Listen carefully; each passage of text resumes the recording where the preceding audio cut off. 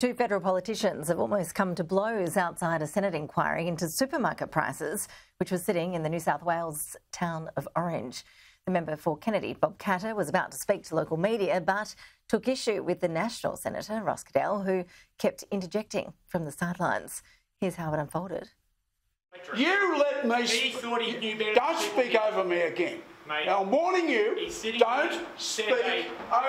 He thought he knew better than You listen this? You listen this? This bloke won't shut up. He won't let anyone else have a say.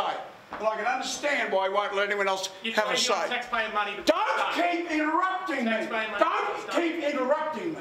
You hear me? Don't keep interrupting me. I have a right to have a say.